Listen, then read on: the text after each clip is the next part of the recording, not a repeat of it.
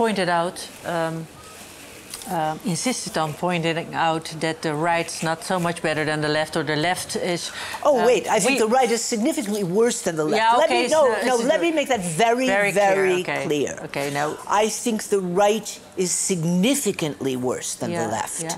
um, both in terms of censorship, in terms of you know not just wanting to cancel but jail and murder its opponents. But this is why I'm, I'm why you need very good, very but good. You must that We I, will I know definitely, definitely. Do not edit that out, No, yeah. we don't edit that out. Okay. it's very important to me too, Yeah. uh, because they should address the important topics. Yeah, um, we're, on, we're on exactly the same page. Um, you know, I, the right is veering into fascism all over the world. If the fascists take over, the first people to go will be transgender people, Yes. will be non binary people.